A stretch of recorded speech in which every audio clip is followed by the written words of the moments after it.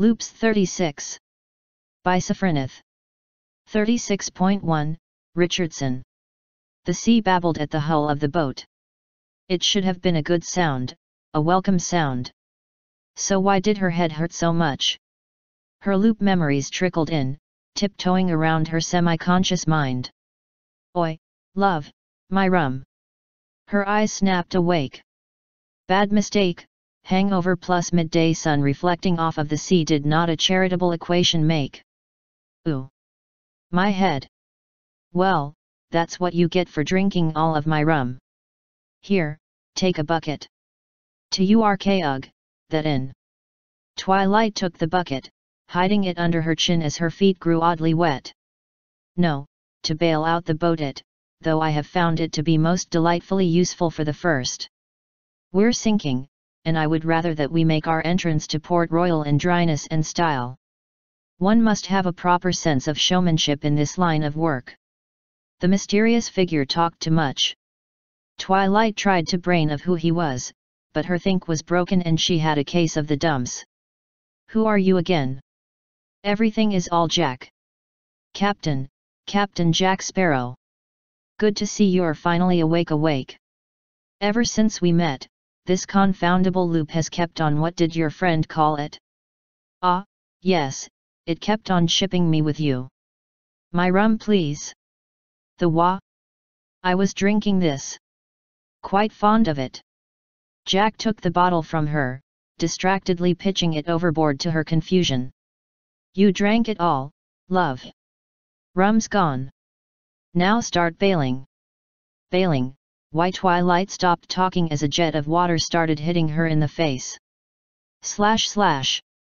36.2, Indolatio. I have pause. After a couple thousand loops, such things usually wouldn't upset Twilight Sparkle, but then her loop memories hit, and she was a bit weirded out. They were telling her she was a dog named Sparkplug, owned by Luna, who now a wacky inventor. Was that trip to the moon for real? Is it really made of cheese? Granted there had been that one loop back then where Luna had deliberately turned the moon into cheese, but it had been rock before. Also, that one had tasted like brie, while the one here tasted a bit like Wensleydale, but not quite. When did I get so obsessed with cheese? Must be a property of the loop. Asterisk. We were running low on cash, so Luna had decided to rent one of spare rooms out. It was late morning when someone applied. Luna went to answer the door, and I remained in my chair where I'd been knitting. Oh, it's about the room, then? Would you like to inspect? I'm asking 20 a week, including breakfast. Despite only hearing Luna talk, it seemed like there was conversation going. What was even the person she was talking to stepped into view? If I didn't know this was going to be a weird loop before, this certainly clinched it, as a penguin walked into view. I took a double take, and the penguin stared at me for a few seconds before walking up to the second floor. Asterisk. I found myself a half hour later wallpapering our spare room. The penguin had took my room. Love intolerance I told myself. Looking up at the drab ceiling, I could definitely see it needing paint. Instead of getting ladder, I got a brilliant idea. Luna had gifted me, well more like, Luna had gifted herself, with something called techno trousers. Basically, mobile, autonomous pants. The neat thing was, they could climb walls and ceilings. It wasn't long before I'd slipped into them, climbed the walls and hung from the ceiling, painting it. Michelangelo, eat your heart out. The clicking and clacking from the pants eventually caused our penguin friend to investigate. It was a bit unnerving, as he just stared at the me and the pants, not saying a word. Granted, I couldn't talk in this loop myself, but this was a bit unnerving. Asterisk. What was even more unnerving, after settling into the newly painted and wallpapered room, was the loud music coming from what was previously my room. Seemed that Penguin really liked Tie a Yellow Ribbon, and played it constantly on the radio. I looked at the clock, with 12.20 am staring back at me. Love intolerance aside, you don't interrupt a girl's beauty sleep. I used a bit of PK and flicked off the radio as subtly as I could, dislodging some of the internal mechanism, so it couldn't be turned on again. The music sputtered and died, leaving a bit of static behind, and then, blessed silence. Asterisk. After last night, and the events of the morning, the penguin, I had never gotten its name and he couldn't talk, had fetched Luna's slippers and newspaper. Normally, this was something I, or at least Sparkplug did in the past. Was the penguin simply being nice? I took a walk to clear my head. As I was walking by the post office, something caught my eye. A wanted poster for a chicken named Feathers McGraw and a sizable bounty underneath it. Something seemed very familiar about the picture. I put my paw over the rooster comb to cover it, revealing that our boarder, the penguin, was actually Feathers McGraw, a notorious criminal. I rushed home. Asterisk. Thankfully, Feathers was out, though I didn't know when he'd return. I entered his room, my room, I thought ruefully. Yes, I can be very petty in my thoughts. Looking through his belongings, I found two very suspicious things. A map of the city museum, and the diamond exhibition highlighted and labeled, and a handgun, very highly restricted in the UK. I had all the evidence I needed. I waited for Feather's return. Asterisk. I hauled the trussed up penguin into the kitchen where Luna was. What have you done with our paying customer? I took out the penguin's bag and removed from it blueprints of the city museum with the diamond exhibition clearly marked. That's right suspicious. Said Luna tapping her chin. I produced a gun from his bag, and Luna leapt back in shock. Oh! Those re illegal. Finally, as my clinching evidence, I produced the wanted poster with Feather's face on it. Hold on there a second. That's a chicken, not our penguin. I smacked my forehead. I searched around in Feather's belonging until I found a red rubber glove, and slapped it upon his head, turning our penguin into a chicken. Luna gasped. It was in disguise all this time. Asterisk. Well, we nabbed a notorious criminal, our money problems were solved for the foreseeable future, and the diamond on display at the City Museum remained safe. As for the techno trousers? Well, maybe Apple Bloom will like them. Slash slash. 36.3, Stainless Steel Fox. Twilight relaxed in the waters of the outdoor hot spring. She might not have tried this if she hadn't already consumed a good portion of the jug of pina colada, but it seemed to be working out. The manager of the onsen was a Mr. Urashima, a 30-something male who moved with authority and the aid of a walking stick. She'd expected some resistance, despite the fact that Japan had never gone to more than level 2 alert, but after a quick explanation, he'd just shrugged his shoulders and treated her like any other customer. She heard him muttering something about Hinata House and how compared to that, this was nothing, but he'd treated her with the utmost courtesy. Twilight had set an Apple Bloom built universal datapad to download XCOM's main database before she'd appeared in their main control and distracted them. Having Dr. Vahlen's clearances and not giving her time to change them before Twilight accessed them had meant the entire system had been pretty much an open book. She hadn't had time to review it fully, but a quick learn spell had given her the gist, covering the gaps in Dr. Vahlen's knowledge. It was how she'd decided where to go, though Japan would have probably been on her list anyway. At the moment she was the only one in the women's side of the bath, though most of the female staff had been cycling through, supposedly checking if she needed anything, but she suspected just to see she was for real. She had no doubt at least one of them had taken some camera phone footage of her in the corridors, but she'd rigged her datapad to monitor any outgoing data or calls for certain patterns, and set up an area alarm spell covering the resort to identify any approaching soldiers or police. Unfortunately though from the many futuristic loops she'd been through she had command of technologies that XCOM would give their collective teeth for, she couldn't use it openly as in-loop Equestria was its usual tech level, roughly 1930s baseline Earth with magic buffing it in places and a good dollop of Magitech outright blurring the lines. Later on she'd be able to justify some knowledge through local study and genius, but she was still limited. Magic, on the other hand, she could go to town on. Still, for the moment she was just relaxing. She'd had half an hour in her room to rest before the bath was empty, but the vegetable sushi they'd delivered had been delicious, and went well with the rest of contents of the jug.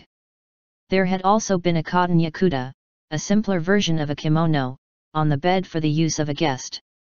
While it hadn't been much use in its base state, a few spells learned from Rarity had adapted it to her body shape, and changed the structural color of the white cotton to purple, with her cutie mark emblazoned on the flank.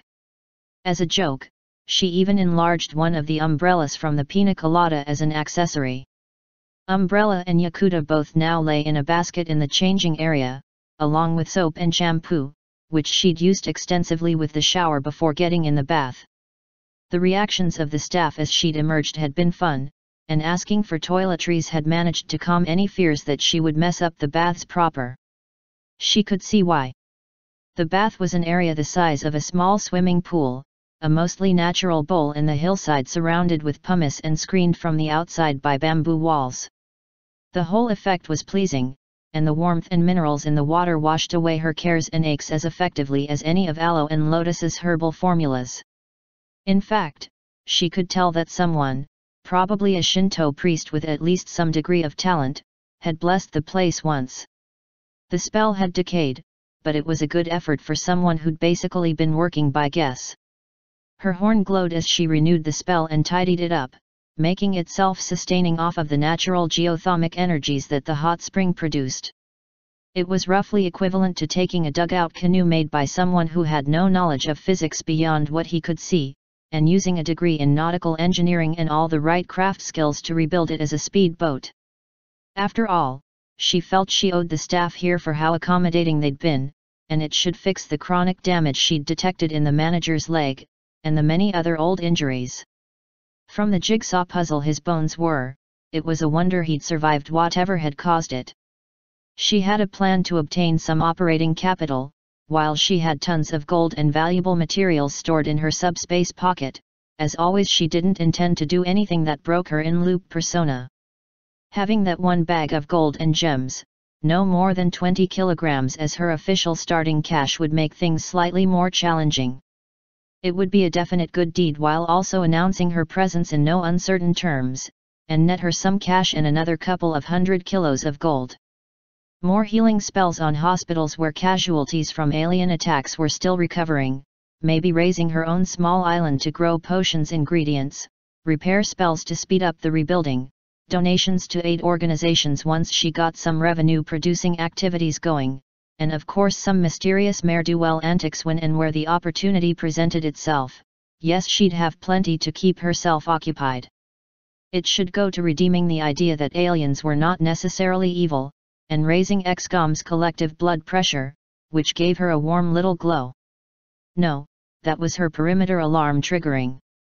But it wasn't XCOM or even the JSDF, it was some of the invaders, and they were heading towards the onsen. Slash slash. Of course they were little threat to Twilight herself. Calling a match up between a dozen of the invaders in an alicorn of Twilight's age and power a curb stomp was like calling the interaction between a snail crawling on a curb and a descending foot a curb stomp. Technically accurate, but somehow lacking the full measure of the mismatch. The question was, why here and now? Narrative causality? Then Twilight realized there was an easier explanation. She'd found the after-action report on her capture, and the reaction of the team's psychic to her uncontrolled magic. Using Dr. Vahlen's knowledge, she quickly had a pretty good working theory of what was happening. She lifted herself out of the water and dried herself off by creating a telekinetic shield flush to her fur and flicking away every droplet, which arced around to form a fist-sized sphere that she dropped back in the pool.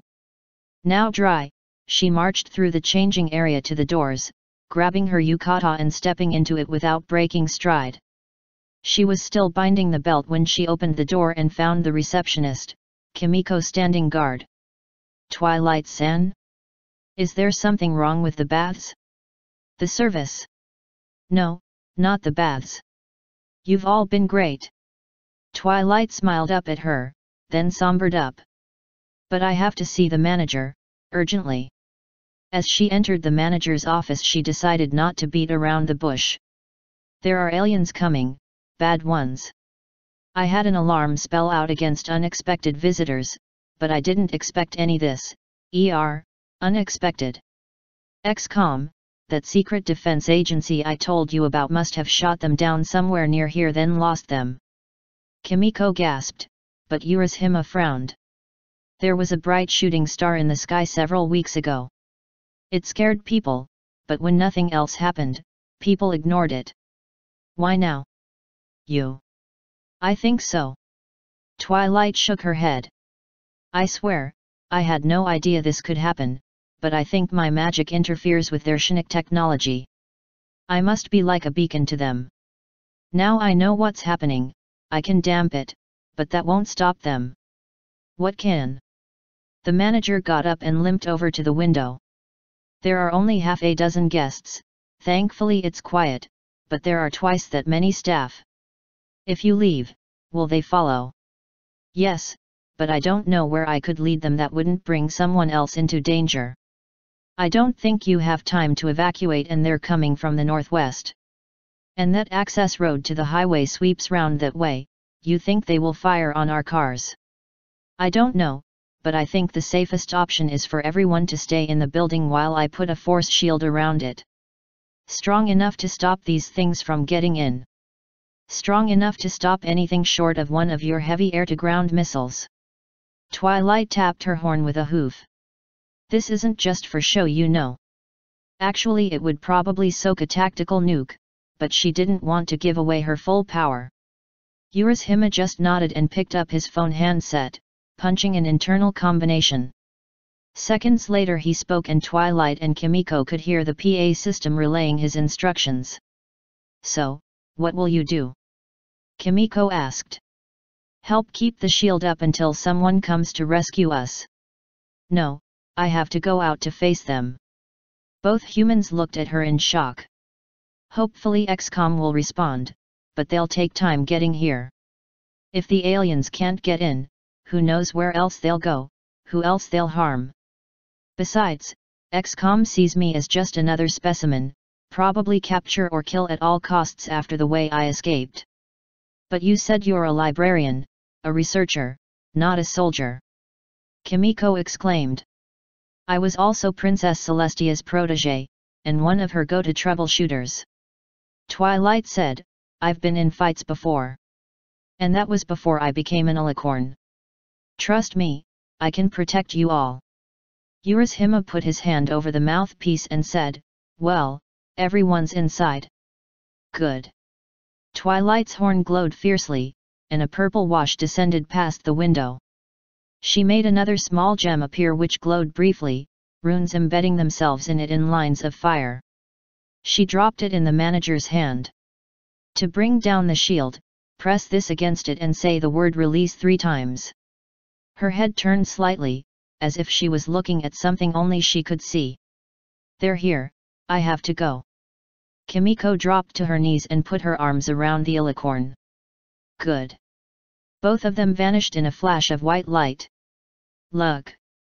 Kimiko looked around. They were back in the ladies' bath area, the surface of the shield rising behind them in a great dome, covering the entire complex of buildings, but not the gardens or baths themselves. Twilight shook herself free. Her horn glowed and Kimiko was lifted and pushed back through the shield, which rippled and let her through. Meanwhile Twilight stepped out from the walkway onto the water surface closing her eyes and breathing deeply. Zecora's training came back to her, supplemented by later knowledge from dozens of loops, and the water supported her, stilling to a mirror surface under the ripples from her hooves. She had a dozen ways she could take them out, two dozen if she wasn't worried about damaging the scenery, but now the civilians were as safe as she could make them, she didn't have to go quick and dirty. Using massive overpower might also scare people. No, this was definitely the place for a more elegant form of combat from a bygone age, a long long time ago, in a galaxy far away. Besides, she needed the practice she could justify it in loop as a lost form of unicorn martial art she'd been recreating as a private project. Of course, she couldn't explain a lightsaber, but she'd long since come up with a workaround for that. A purple energy blade extended from the tip of her horn with a low hum, then detached to hover in front of her in a guard position. Kimiko did what any modern person did when faced with something extraordinary, pulled out her phone and started filming. Three sectoids, small humanoids, bulb-headed and hunched, dropped over the edges of the bamboo screen between the bath and the forest outside, and immediately shot at her with their plasma pistols. The energy blade in front of her moved with almost lazy sweeps, intercepting the bolts and flinging them skywards or into the waters between them. Even as the duel started, three floaters flew over the barrier, a form of barely humanoid cyborg who had a body made up of just a torso with a pair of jet engines built into its back. Their Plasma rifles increased the odds to 6 to 1, but Twilight's energy blade kept deflecting the bolts, slowly moving forward. As a sectoid got to the water's edge she deflected a floater bolt into the water in front of it, blinding it with a burst of steam, and then she moved, wings flapping once to shoot her across in front of it as it reeled back, her horn glowing. It was enveloped in purple light, and shrunk down as she overflew it, leaving behind a plant pot with a geranium in, plasma pistol lying beside it. She flipped over in midair and rebounded off part of the rockery wall, still deflecting the few energy blasts that were anywhere near target. Her wings swept again, drawing up steam from the hot waters below and flinging it in front of her, engulfing one of the floaters. The cloud shrunk and condensed to the density of candy floss, darkening at the same time. Using its bulk as a screen from the other two she flew towards it and spun to give it a kick with both hind hooves. Lightning flashed and crackled throughout the cloud, and the floater dropped out of it to splash into the water below, engines dead and cybernetics shorted out.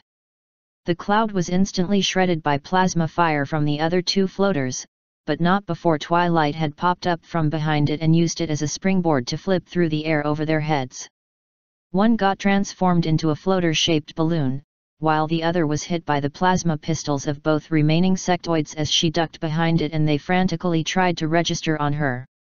It exploded, leaving her exposed, but the two aliens had no time to use this as they were grabbed by her telekinetic force and flung together, smacking their heads against each other's. Twilight landed and dropped the two in front of her, changing them to a potted lily and a small spiny cactus. Twilight brought her energy blade up into guard position again, and gave a great downbeat with her wings shooting up to fly over the bamboo wall. There were flashes and the sounds of plasma fire, and then the bamboo screen was smashed down as twilight was flung backwards through it, curled up and glowing with a purple aura. She hit the pumice spire that formed the centerpiece of the bath and went straight through it, smashing the spire to splinters. She finally uncurled and flung her wings out, arresting her flight and dropped down to stand on the water again. The muton, a hulking humanoid in sculpted armor that had clearly backhanded her through the wall, raised its arms and roared in triumph or to call its allies. It found this was unwise when the purple alicorn flashed from where she stood to right in front of him and blasted him with magic. He was instantly transformed into a cherry tree. Unfortunately it didn't completely block the hole and a trio of chrysalids, three-legged mantis-like aliens with scythe-tipped arms skittered through the gap, forcing her to fall back. She ran backwards out onto the water and one leapt in after her, splashing its way through more slowly than its initial rush. Her horn glowed and the water swirled up in a waterspout to engulf it, then froze, leaving it encased in a block of ice. The other two made massive leaps onto the now flattened central rock spire, getting behind her. The remaining rebel shot upwards with a purple glow of telekinesis, battering their undersides and giving her time to turn and face the threat. One chrysalid scythe arm swept down to spear her, but her energy blade flew up and extended to the length of a bow staff, horizontal in the air to catch them by the elbows. The other leapt again to get behind her, and intercepted a pair of hind hooves glowing with energy on the way down. It was thrown all the way back to crash into the cherry tree where it slumped, leaking ichor. Twilight's energy blade continued to duel with the twin arm blades of her opponent, finally feinting to make it overreach itself. As the blade speared out to pierce her through and through, she downwinged and jumped flying over then and bringing her energy blade down in a sweep that sliced them off, leaving stubs. The chrysalid creeled in agony, but was quickly cut short as it was transformed into a spider plant. The ichor leaking one was similarly transformed. But before she could take a breath, a series of explosions blasted away a good section of the wall, reducing the bamboo to smoldering splinters. Two more mutons stood there, flanking a massive bipod war machine with a row of four glowing lights on its main body like unblinking eyes, a sectopod. Twilight was once again reduced to deflecting and dodging fire as the two humanoids fired their plasma rifles continuously. The frozen chrysalid was hauled into the air and flung at the sectopod by Twilight's telekinesis, but it blasted the block of ice and its prisoner into shards and steam.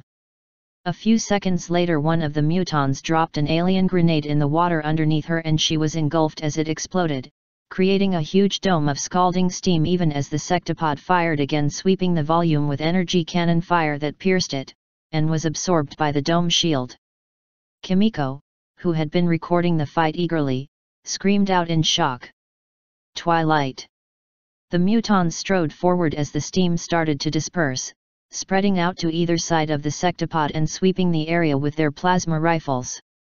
One fired at Kimiko, causing her to shriek and hunch away, but the shield absorbed it without a ripple.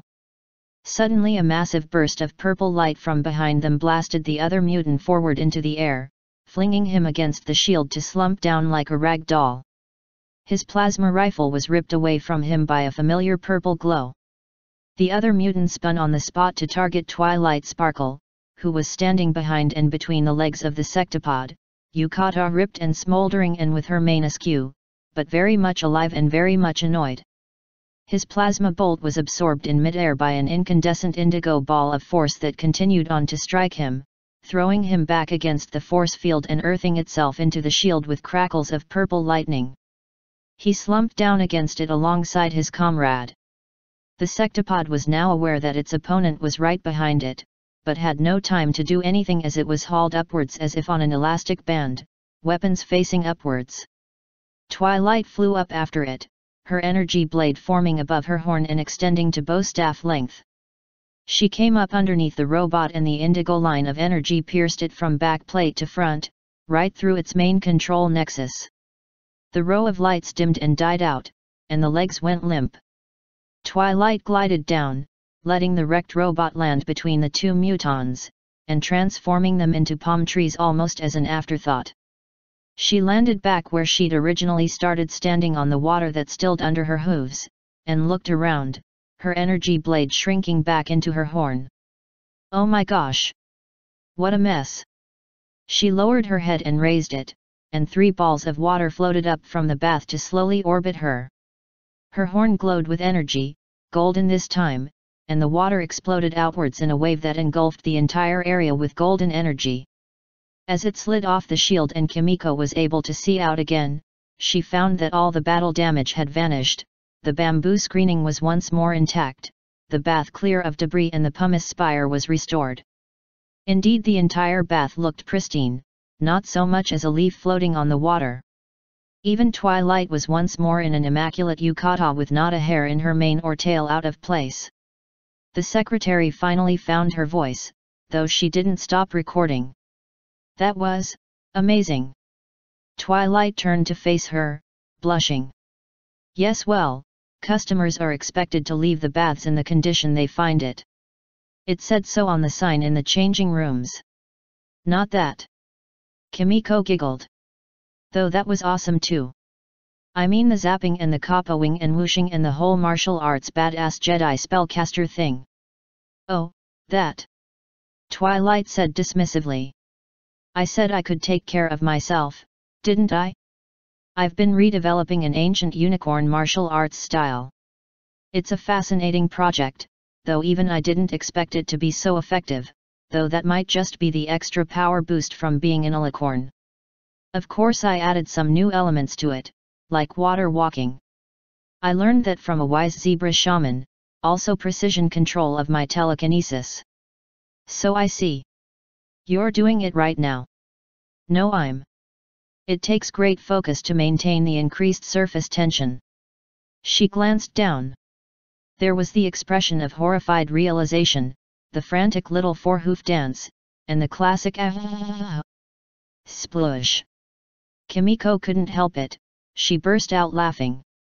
It didn't help when a pair of ears emerged above the water and moved towards the edge of the bath like a pair of parallel sharks. One hoof, and then another grappled over the edge of the bath, and hauled up a very bedraggled Twilight, mane matted over her face with her eyes closed. She spit out a stream of water. Kimiko was by this time gasping for air. Oh sure, laugh it up. A glow formed around Twilight and she lifted herself out onto the walkway. You recorded that too. I'm sorry, but it was very funny. Kimiko calmed down. Look, I'll edit that out. You don't mind me posting the rest to some sites I know. Twilight repeated her instant drying spell and was once more neat and dry. It's okay, leave it in. My ego's not so fragile that I can't take a joke at my expense. Besides, I want people to know I'm not like those things. Humans are afraid of aliens, and from this lot, rightly so, but my friend Pinkie Pie taught me long ago that it's hard to be scared of something when you're laughing at it. Twilight stepped through the shield like it was open air. Let's go tell Mr. Urashima that the trouble is over. Yes, the way you killed those aliens. I didn't kill anyone. Twilight huffed. Well, I guess you could call destroying those golems, no robots, killing, but the ones I turned into potted plants are still alive. I could even turn them back, though I don't think I'd be doing them any favors, as XCOM would probably just kill them for real. I first did it by accident on my entrance exam to Princess Celestia's school for gifted unicorns. Turned both my parents into plants. Thankfully they turned back soon afterwards. Kimiko shivered. They won't turn back by themselves, will they? Not with this version of the spell. Only I can reverse it, otherwise it's permanent. Well it was really impressive. You probably couldn't hear me but I was cheering Banzai the whole time. Twilight chuckled. Shouldn't that be Bonsai? Kimiko groaned as they reached the manager's office. Kaitaro called out for them to come in at the knock and slumped back in his seat when he saw it was the two of them. Thank the kami, you're both safe. The aliens, they have been dealt with. Yes, Twilight took them all out, it was so cool. Kimiko replied, and held up the camera. I even have video. She even cleaned up afterwards. Twilight added. Not quite. There are a bunch of potted plants and some broken robots lying on the walkway outside the women's wash area. But don't worry, when XCOM get here they'll take them all away. Oh, that reminds me could I get a copy of that film? I didn't know you had a laptop. Kimiko said, puzzled. Don't need one. Just hold that phone against my horn. She did as she was asked, and silvery thread slid down the grooves in her horn as it glowed. I originally developed this spell for reading books fast, pretty much any kind of paperwork where you didn't want to actually have to go through it. Based on a spell to share memories. Turns out it works just as well on other forms of stored information. She took her horn away and pointed it away from them. A glow appeared at the tip, and a window formed in the air, showing a few seconds from the fight. Got it. SEH turned to see the two humans were gobsmacked. What? I raise an energy shield over the entire place and this is what impresses you? Kimiko, I think you'd better get that stuff uploaded as widely as possible, and as soon as possible, before XCOM take that too. Yes, of course. Kimiko practically flew out of the room. Twilight turned to the Kaitaro. I've had enough of a bath for one night. Could I use my room until XCOM get here? I really don't want to stick around after that. Of course, Twilight Dono. Kaitaro bowed his head. And thank you, for saving all of us. No need for that formal stuff, it was my fault you were in harm's way in the first place. The bag of gold appeared and she placed a stack of coins and a couple of small gems, maybe a half kilo worth on his desk. I'd better settle up while I'm here, that should cover it. The manager reached out and pushed it back. I can't accept this. I meant what I said. So did I. Twilight pushed it back. I need to pay my way, and show I have.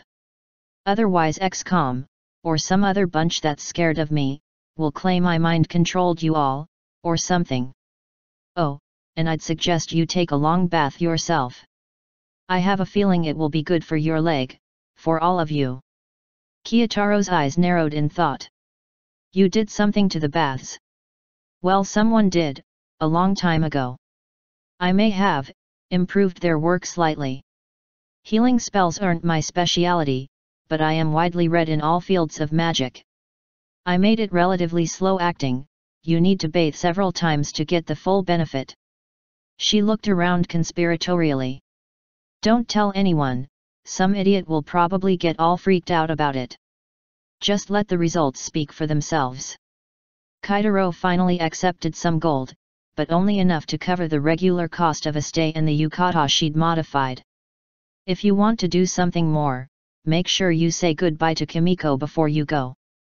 She seems to have taken a shine to you. Okay, if you're sure, Twilight yawned and put a hoof to her face. Oh my, I guess that fight took more out of me than I thought. I'll get off to my room. Good night, and if I don't get chance to see you again, farewell. As she went up to her room, Twilight reflected on how well things had gone. She hadn't intended to be filmed, but when she realized she had she did do things slightly more flamboyantly than she might otherwise have. Still, the bit at the end had been pure serendipity, her concentration failing at just the right moment for maximum comic impact. That would do more to cement her reputation as non-hostile than a hundred heartfelt speeches. She stripped off her yukata and climbed up into the big, human-sized bed and snuggled down under the covers. She had just enough energy left to reset her alarm spell before she drifted off to sleep. Slash slash. 36.4 Twilight stepped up to the hill overlooking Sweet Apple Acres. So. I understand that these need to be picked, then. Mac nodded. Yup. Twilight looked around. There's a lot of them. The stallion positively exuded agreement. Okay. I think I can do this. Why you? Mac said, turning to her and wincing. I know why I ain't doing it, but... Oh. I lost a bet with Applejack. Twilight looked Mac over. Are you all right? I heard you strained something. I'll be fine. Mac grew grimaced. I ain't goin' to the doctor, anyways. Not after. Fair enough, Twilight said. I remember Spike shouting about his eyes burning. Mac blushed. Neither of us is much good at winnin' bets with Mer's sister, Audi guess. Twilight nodded. Okay, here we go. The whole forest began to glow purple. Whistling something, Twilight corralled the thousands of apples into distinct streams and began decanting them into barrels.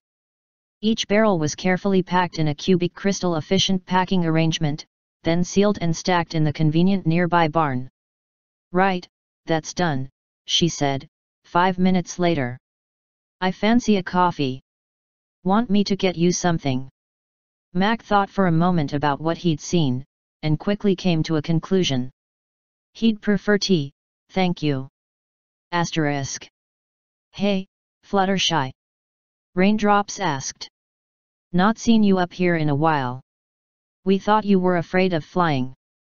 Fluttershy nodded, and shuffled back to the center of the cloud she was on. Oh. Sorry. But, er, why? Bet with Dash, Fluttershy whispered, then kicked the cloud uncertainly. It summarily failed to pop.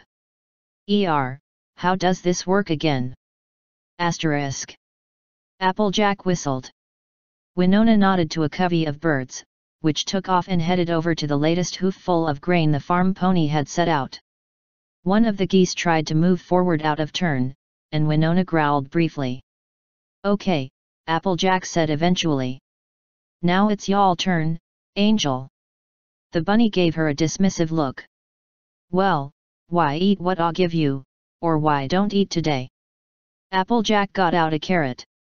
I shoulda never made that bet with Fluttershy, I can tell you. Asterisk. Look, Dash said wearily. I can't do dressmaking, so this is basically the only option I had left.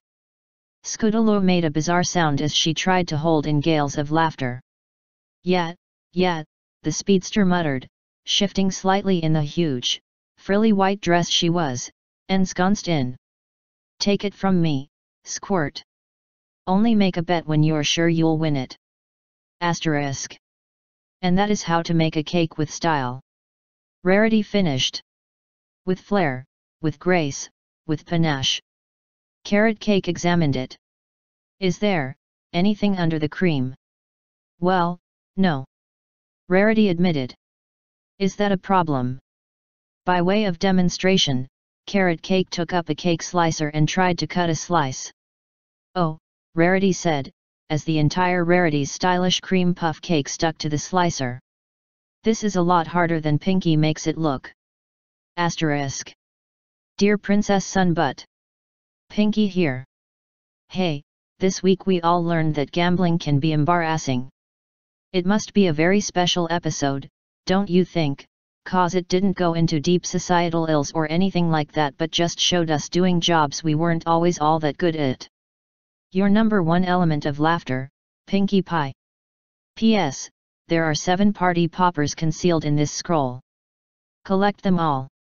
Asterisk. Princess Celestia pulled streamers out of her mane.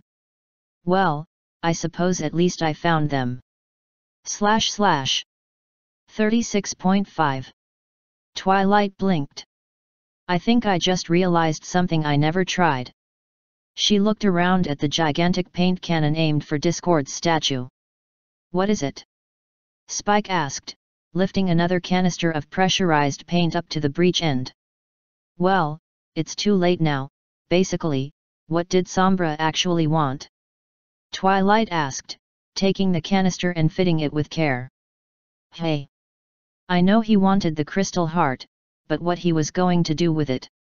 No idea. Spike shrugged. Well, I know what to do next time, Twilight said. Hmm. Asterisk. Twilight. Celestia said, pushing open the door to the library. Are you there? No response. How strange. Celestia thought hard. Her messages via Spike had only received terse replies about some experiment, so she had come to check on her student in person, in advance of giving her the first solo mission she would have. Her eyes alighted on a note resting on the table. Dear Princess, she read. I have recently discovered that the Crystal Empire has returned. I have made haste to their capital, in order to assess the situation. Celestia frowned, then her eyes widened. She doesn't know. Asterisk. So, King Sombra, we deliver unto you the crystal heart, Twilight finished, putting the large hunk of crystal on the floor. Sombra looked at it. Crystal. Yes, crystal, Twilight agreed. Are you sure this is okay? Spike asked, looking nervous. He looks evil. So did Nightmare Moon, Twilight pointed out. She was evil. Spike said. Luna isn't, but that's not the same thing. Shush, I want to see what happens. Twilight pointed. Sombra arose from his throne, darkness drifting around him, and approached the great relic. Then paused. What now? Twilight face hoofed. Oh, you must be joking. Sombra tapped the crystal heart, which went tink. Crystal? Cries tall. One wall exploded, admitting Celestia. Twilight. Are you alright? Fine, thanks, Twilight said, dropping a reflex quick shimmer shield. I wanted to see if King Sombra could do anything with the crystal heart. It turns out, not. Celestia took in the situation. Twilight, fine. Spike, scared but fine, the crystal heart, unscathed but dusty, and King Sombra's horn sticking out of a pile of rubble. I see. Wasn't that awfully risky? Twilight shrugged. I keyed it to a teleport, so I could technically summon it to me if needed. It's a tricky spell, involves writing a runic form of my name on the object in magic, but useful. Celestia poked the pile of rubble, which mumbled something about crystals. I remember him being more dangerous. Slash slash. 36.6 Twilight could just about taste something off about this loop. She wasn't sure what, she wasn't sure how, but this loop was not standard. All that said, though, it certainly looked normal. Twilight and her friends, all six of them awake, were in Ponyville, as normal. The summer sun celebration had proceeded as planned, then not as planned, then as normal for a standard issue loop. They'd gone with the old standby of Twilight getting the elements working first try, and all six of them blasting Nightmare Moon's smoke form as she tried to kidnap Twilight. Asterisk. As Applejack gathered up her crop for the year, the hard way, relatively speaking, to test out some mental trick or other she'd picked up to help with tiredness, Twilight wondered if she was just imagining things. Then she vanished in a puff of smoke. Asterisk. She materialized, horn flaring and muscles tense with alarm, in a grassy field. With a human, boy, but with white hair, looking at her. Twilight blinked. The boy stared for another moment, then jumped into the air. Awesome! Maybe not as cool as I was hoping, but the chicks will love it. Wait, what's going on? she asked, confused. Oh! The boy stopped jumping. I'm Jiraiya. Your new summoner. Twilight looked at him for another moment, then face hoofed. So much for normal loop, they were replacing the toad summons. Sighing, Twilight looked up. Okay, then. My name's Twilight Sparkle. Jiraiya winced.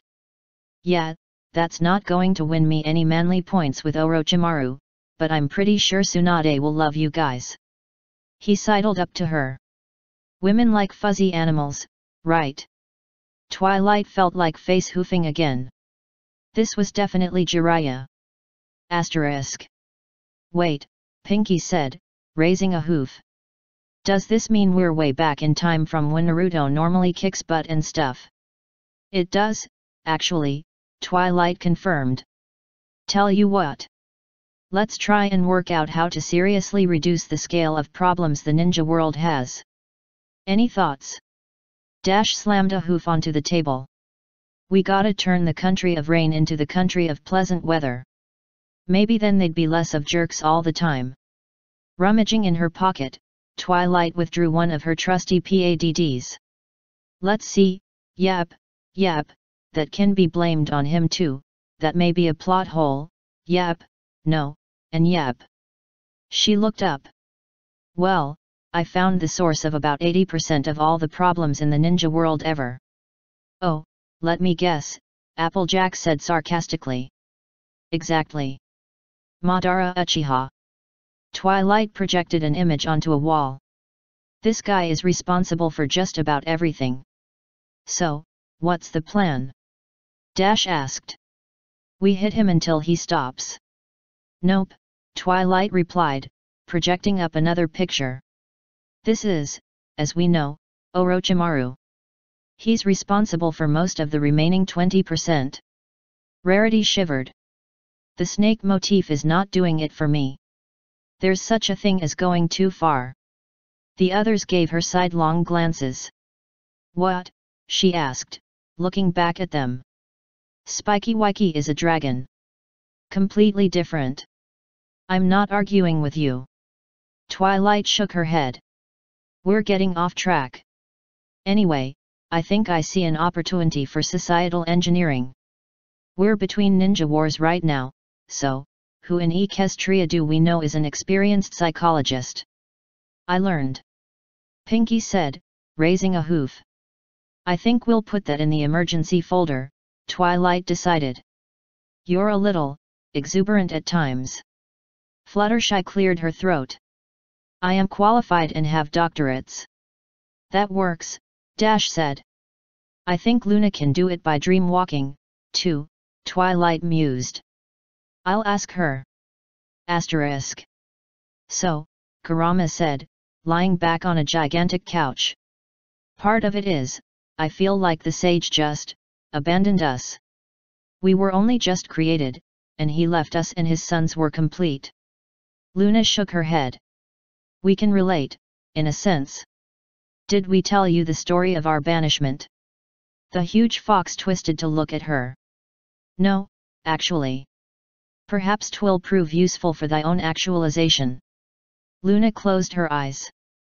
Ere long ago, perhaps so long as the time thy sage had so recently made the moon. Asterisk. So, Madara said slowly. You want to cure me, little summon. Fluttershy nodded. I don't think I have a problem in the first place. His eyes twisted into the Mangekyo. So. Fluttershy met his gaze. To an onlooker, it would have been as though little explosions of pure optic intent were going off between them. Why did Izuna always manage to do everything right? Madara asked plaintively. I tried as hard as I could. There, there, Fluttershy said, trotting over. Just let it out, you'll feel better. Asterisk. Twilight looked at the book in her hooves. It was one of Jiraiya's. It was also rather better written than normal though the subject matter was about the same. I never should have let him and Dash collaborate. Slash slash. 36.7. Oh, gods, where are we now? A somewhat scruffy unicorn asked, adjusting his floppy hat. He then paused. And how did I do that? The glasses-wearing earth pony next to him shrugged. I don't know either. Still, this looks like another one of those fused loops. Great. More exciting things to run away from. A large Pegasus flapped down to land next to them in a whir of wings. Greetings. Oh, not you again, the unicorn muttered. Looking down at himself, the Pegasus frowned. I am fairly sure it is me. Wait what's that on your, er, arse, asked the unicorn, pointing. It looks like, the earth pony squinted closer, adjusting his glasses. A carrot.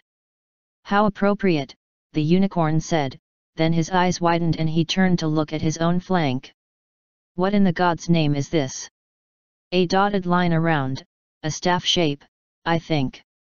The Pegasus shook his head. No idea. And mine is, a pair of flowers. Shrugging, the earth pony looked around.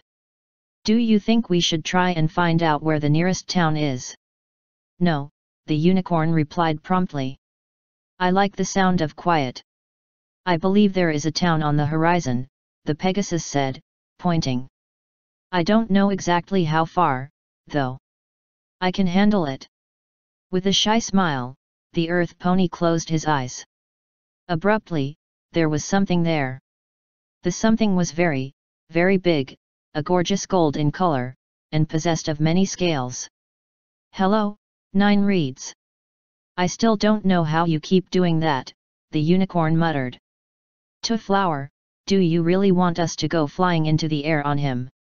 You didn't have a problem with it before, Rincewind, Twoflower pointed out. I have come to terms with a fear of heights, Rincewind defended. It is an old friend, who I meet most weeks.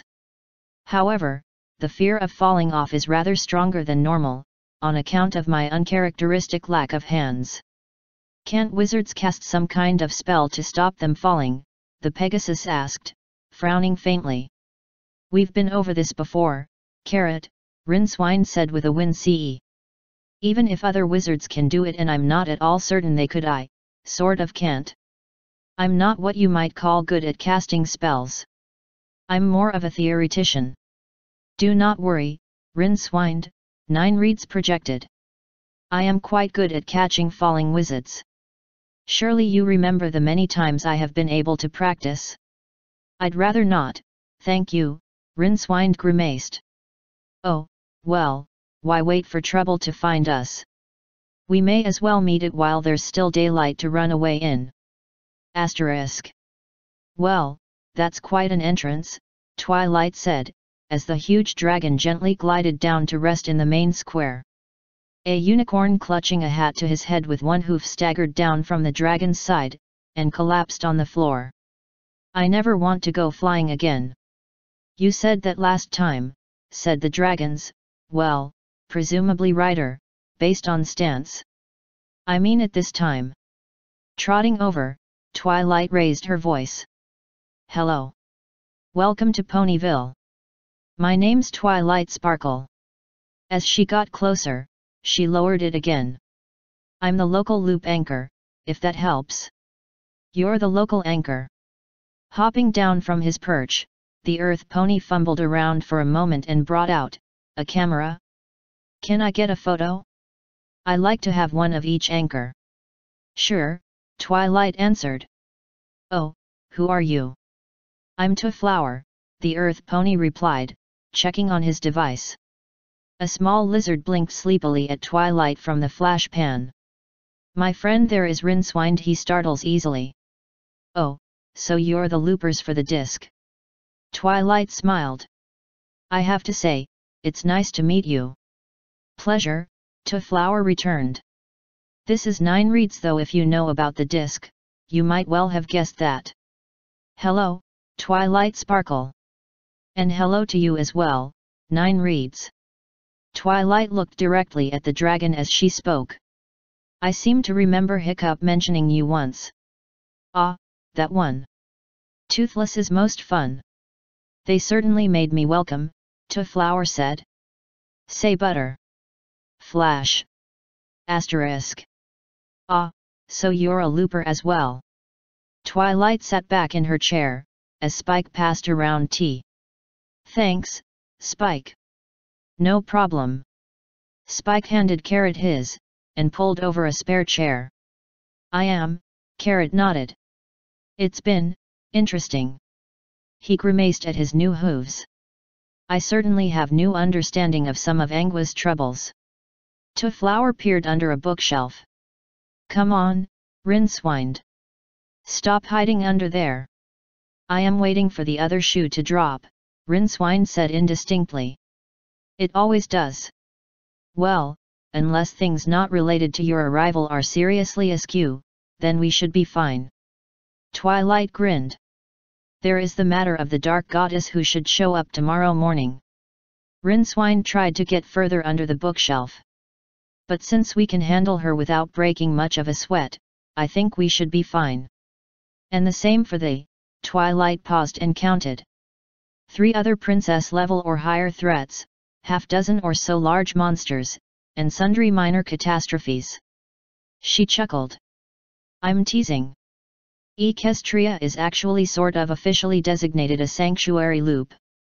We'll try to make your stay as comfortable as possible. Excellent. Twoflower walked back over, apparently abandoning Rincewind to his position under the bookshelves for now. Don't worry, he'll come out eventually. Try me. Rincewind called. Asterisk. Whistling, Discord slid the book containing the elements back into the bookshelf. Hide it in plain sight. Hilarious. As he turned to go, the bookshelf moved. Oh, he asked, peering under the bookshelf with one eye. Then he put the eye back in and bent down. Hello, little pony. Wizard, thank you, a voice said back. Reaching in, Discord pulled out a blanket, a bathtub, and three sets of goggles before finally towing a somewhat scruffy unicorn out by the tail. What were you doing in there? The unicorn closed his eyes. This cannot go well. How astute. Discord poked his new prey in the cutie mark, which flashed, and grey spread all over his body. Then the building exploded. Asterisk. Oh, I almost forgot about him. Whoops. Twilight and the others watched Discord flee across the fields, pursued by about 50 high-grade spells and a unicorn whose eyes blazed with eight-colored fire. Twoflower winced at a particularly bright Ultima. You know, I think Rincewind would be quite good at spells by now, if he just used a system other than the UU standard. He certainly knows all the theory. They sat back to watch the fireworks for another few minutes. Should we help him? Carrot asked. I mean, I know he's a criminal, but that can't be due process. Twilight shrugged. Slash slash. 36.8. Okay, boy, ready. Spike said, bouncing on his claws. Pee-wee nodded. Play dead. The little phoenix chirped once, then erupted in a searing column of fire. Twilight chose that moment to walk in. Okay. Spike, what am I looking at, and what's the reasonable explanation? Well, you're looking at a pillar of smoke and flame in the middle of the library, Spike summarized. Right. And the reasonable explanation. The pyre died down, revealing an adult phoenix. Taking a single circuit around the room, singing, he then settled on Spike's shoulder and began to preen. That. Spike pointed. I taught Pee-wee a new trick. And you absolutely had to try it out on the library table. Twilight asked, conjuring a dustpan and brush out of what had been a set of plaster ducks. Her assistant winced. Oops. Well, in my defense, there are cookies cooling in the kitchen, and we might have got ash on them. Twilight shook her head. Well, I suppose I can forgive a lot for a cookie. But we have a laboratory for a reason. Spike shrugged. Trixie's in it, I think. Fair enough. Slash slash. 36.9 El Magnifico. Macintosh poured the fermented liquid into a carefully measured, reinforced container. It fizzed there for a second before settling down. He slid it next to two glasses of more mundane cider, where it would stay unless it was needed. This was one of those special occasions. So, this was y'all's first kill. His customer sighed at her cider, her purple bangs almost hanging into it. No, but it's troubling me. There are so many questions. Jadis was a powerful witch, and in that world, those can always come back she did, I brought her back. Probably guilt. So does it count? Could I have prevented her from using the deplorable word some other way? Would she have done so if I hadn't? She didn't use it in the books when she was getting overthrown. I've had these arguments with myself often since then. I've hurt things in self-defense before, and fought eldritch horrors and creatures with terrible power, but this time I premeditated the destruction of a sentient being. The silence hung there for a second as Twilight paused. I wonder sometimes if there was a way to do it differently. I've stopped evils with phenomenal cosmic power before without resorting to killing, and I had all the advantages of surprise and time. Perhaps a petrification spell, or illusion, or transmogrification. I don't know. It was the only way I knew for sure would work. Macintosh wasn't sure what to say to that. He'd never dropped a meteorite on someone's head. Quiet returned like a disapproving spectre.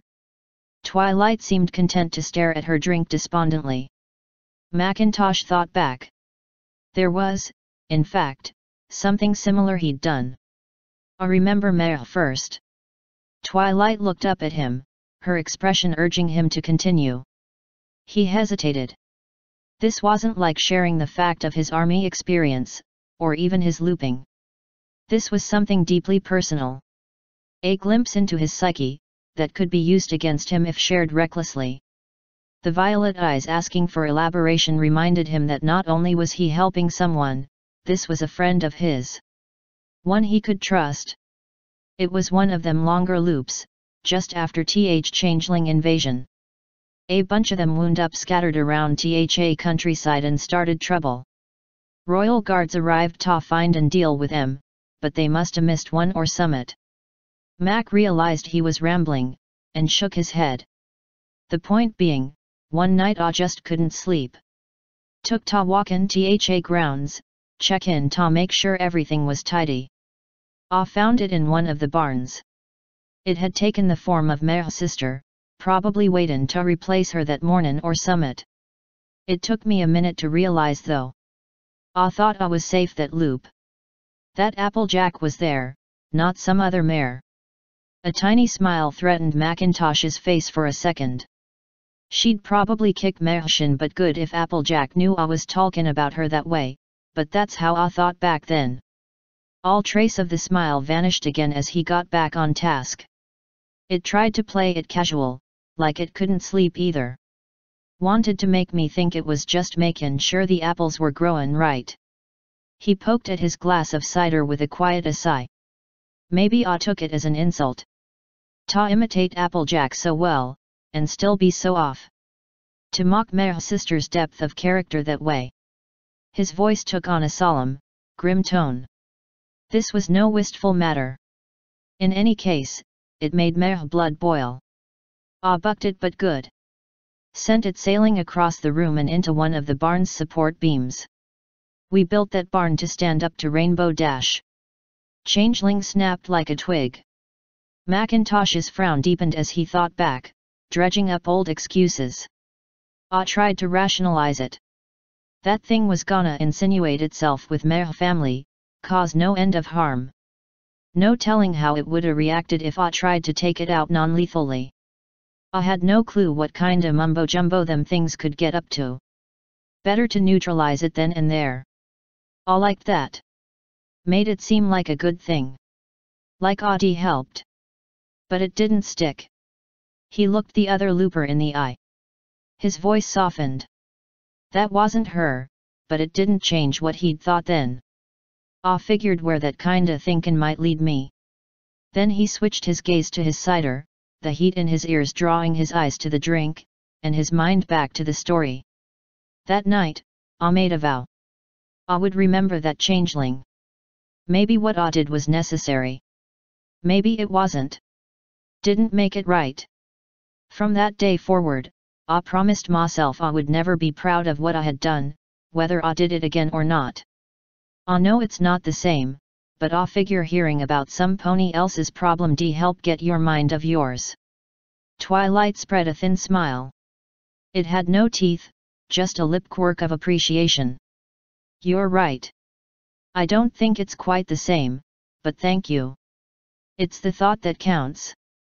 The silence stretched on from there, but it was a different silence. Both Twilight and Macintosh watched the alcohol swirl in the glass between their ciders. A meditative scene. Two loopers sharing a moment to contemplate their actions in the company of someone who understood, at least a bit.